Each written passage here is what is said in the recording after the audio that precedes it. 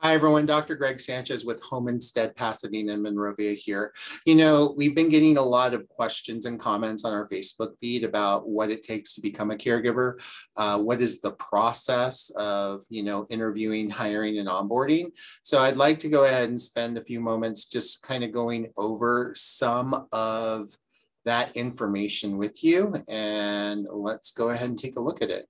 So, you know, you don't need 20 years of experience, professional experience being a caregiver. You can leverage experiences be, of a family caregiver, whether that be with uh, a child or with an aging loved one. I mean, if you've taken care of someone after they gotten out of the hospital, um, you know, those are great examples of what it would take to become a caregiver. The question you need to ask yourself, though, is how did it make you feel? Uh, you don't, if you were not real thrilled about doing it, then this probably isn't the career path for you. But if you found fulfillment in it, then that's step number one. Now, caregiving in the state of California is not require a certification or a license, just a compassionate heart and a desire to learn and work with a very vulnerable population within our community. So that's number one. Uh, the next thing is how do I become a care professional? What should I look for? Well, you know, to make life easier, I would say start off looking at uh, agencies. Agency, reputable agencies are going to have like a human resources department with staff that can help you navigate the process and lots of training. So that way you can take that desire and that um, experience that you gain from being a family caregiver and learn how to create and convert that into a professional caregiver understanding of what's going on. So that's a really good thing. Next thing is, how do I know which agency was best for me? Well, understand their vision, understand their core values, um, you know, visit their website, check out the Facebook page. Uh, Google reviews is really important. Um, also, meet, if they're out in the community, go meet them. I mean, there's lots of job fairs or even health fairs. A lot of caregiving companies go to health fairs or uh, community fairs.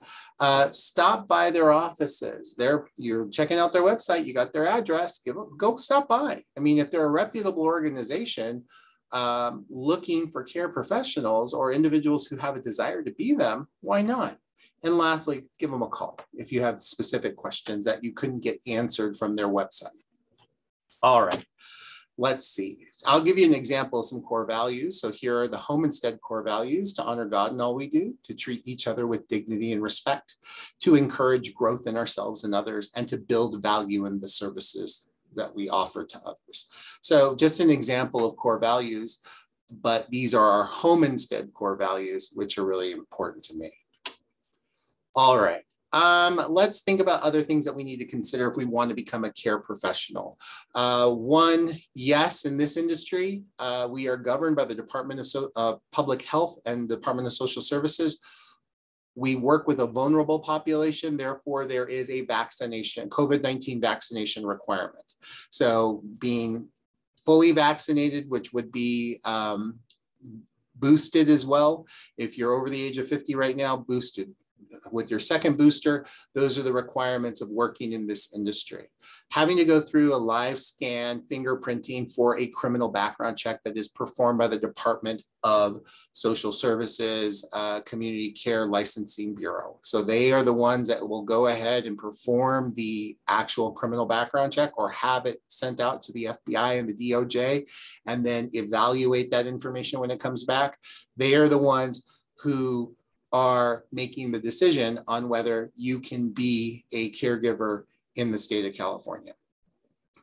Questions more logistically would be how big is the area of the agency services? You know, if it's uh, organizations like mine, our home instead franchise office here in Pasadena only goes from La Cañada to Rosemead Boulevard. It's about less than 10 miles.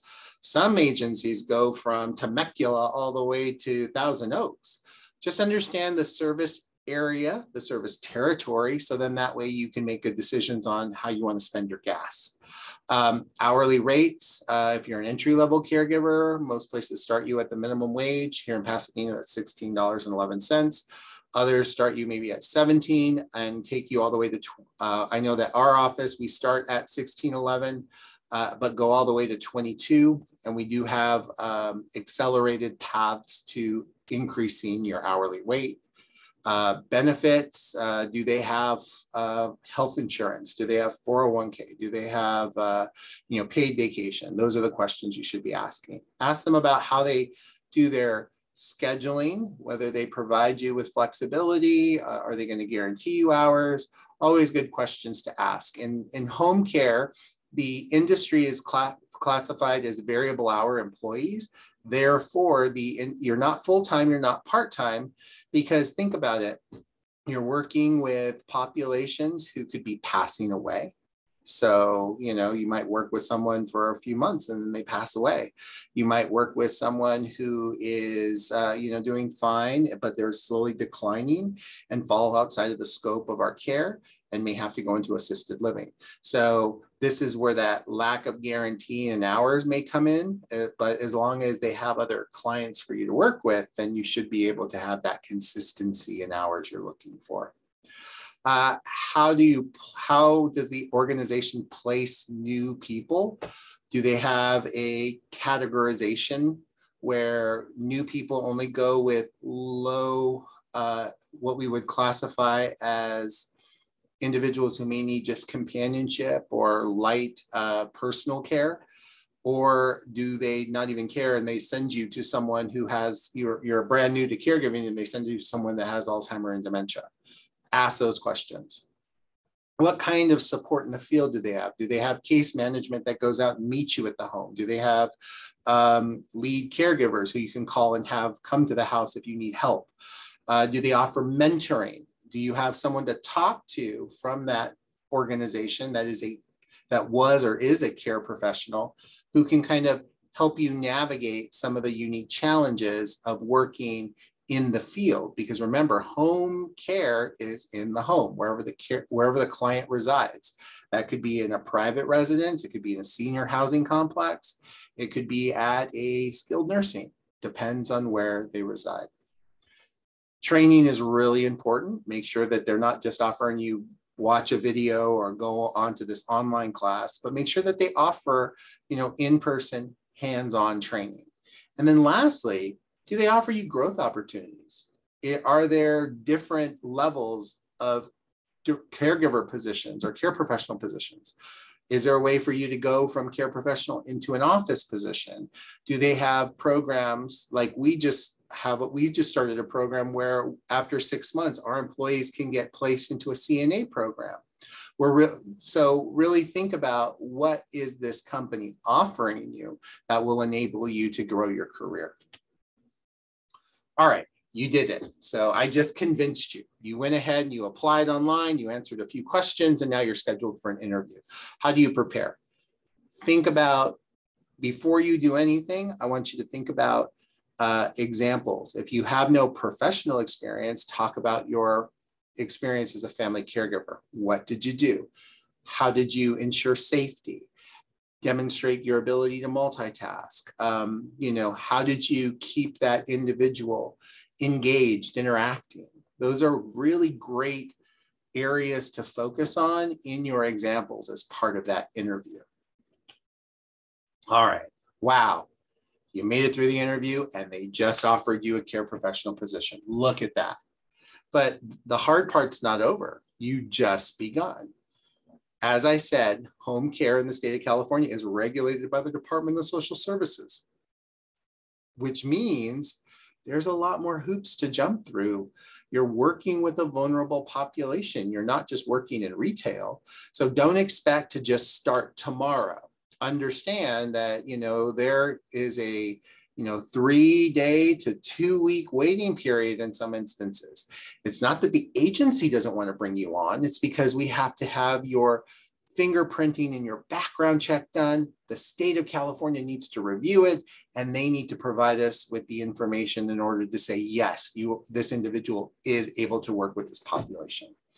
Other things that are going to probably be asked of you is to uh, review and acknowledge several onboarding documents, specifically documents from the state.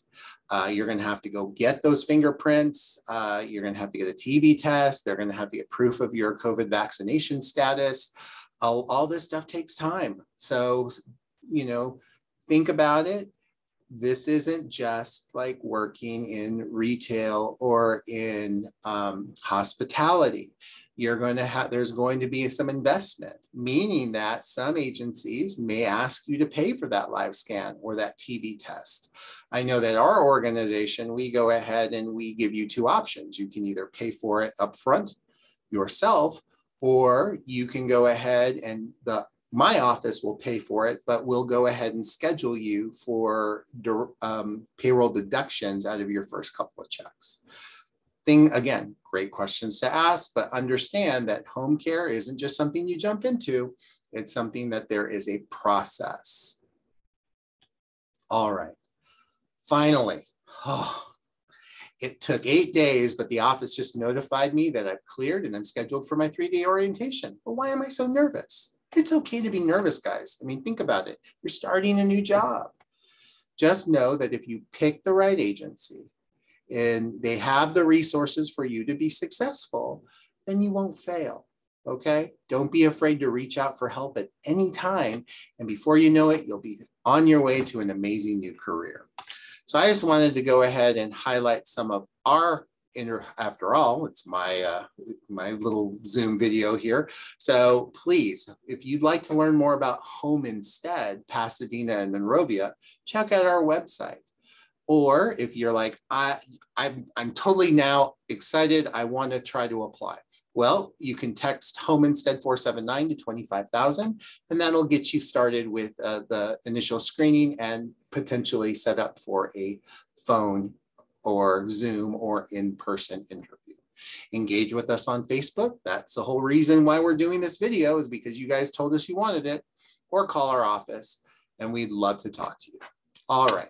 Another thing that I just wanted to highlight for you is that we are wanting to ensure that our caregiver populate our caregiver population represents our community. So we're recruiting in Mandarin. We're recruiting in Tagalog. We're recruiting in Farsi and in Spanish. We're also going to be recruiting soon in Armenian and Vietnamese. So again, guys, thank you so much for all the wonderful feedback that I've been getting through our Facebook page. And we look forward to talking to you more about this exciting career in caregiving. I want to again, thank you so much. Have a wonderful day and we hope to hear and see you soon. Bye bye.